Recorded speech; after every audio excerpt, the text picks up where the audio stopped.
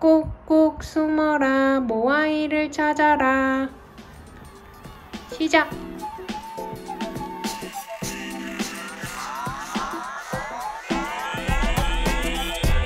어서와 메이크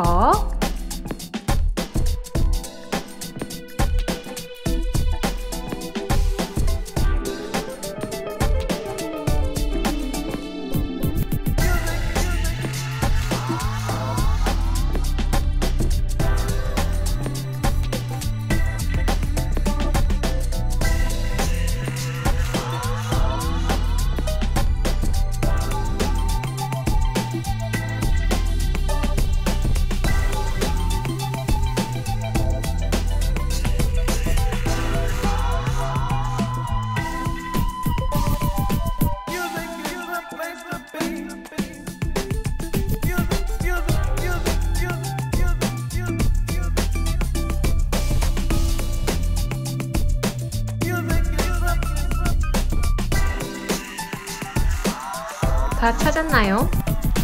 3D 프린터로 뽑은 모아이는 과연 몇 개였을까요?